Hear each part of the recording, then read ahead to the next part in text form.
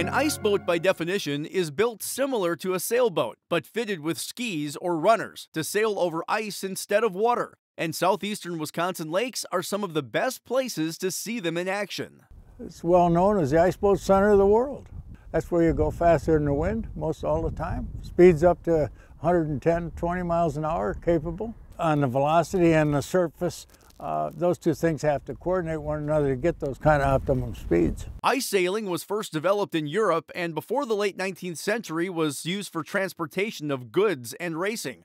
Today, it's mostly a sport. Because of high potential boat speeds, ice boat race courses are established around fixed marks which are rounded in a one way route. The courses are deliberately set in a straight line upwind and downwind, though the boats have to tack back and forth to advance through the course.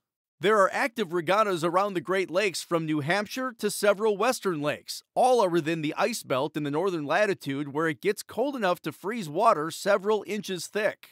Lake Geneva is all spring fed, so the water is turning and it takes about January 14th, the average freeze time. So we have opportunities to start on Como, move to Delavan, and then Lake Geneva. And that's why we call this area the center of ice boating in the world. And now you know your Wisconsin.